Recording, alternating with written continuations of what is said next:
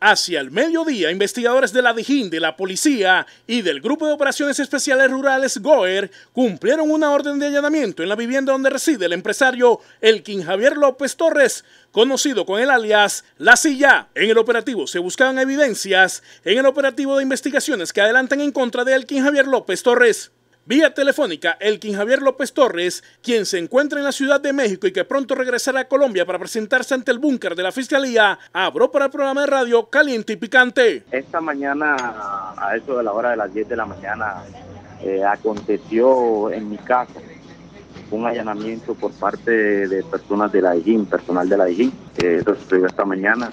Eh, yo no me encontraba en la casa porque ando en cosas de médicos bueno, este es el primer punto de lo que sucedió. Ahí llegaron con una orden de allanamiento eh, total. Ahí yo, yo hablé telefónicamente con, con el coronel de, que estaba manejando el operativo. Le dije que, yo estoy presto a presentarme donde tenga que ir porque no tengo nada, nada que ocultar ni nada que temer, ¿no?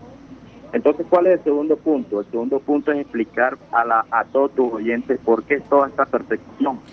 Yo no soy persona de quedarme callado lo que está pasando, Sergio, en, la ciudad de Valledupar es que hay unos clanes y unas mafias políticas y, para desprestigiar algunos algunos candidatos, Sergio, han usado mi nombre inventando ese rumor que yo estoy financiando algunas campañas, algo que falte. Y estos mismos clanes y mafias que tienen contacto con estos grupos que se están rearmando, por eso es esa ola de violencia allá en Valledupar hay grupos de paramilitares que se están rearmando y personas que fueron extraditadas y están y llegaron a cobrar carteras del narcotráfico. Entonces estos mismos planes políticos están aliados aliados a esos a esos grupos. Y entonces, ¿qué hicieron?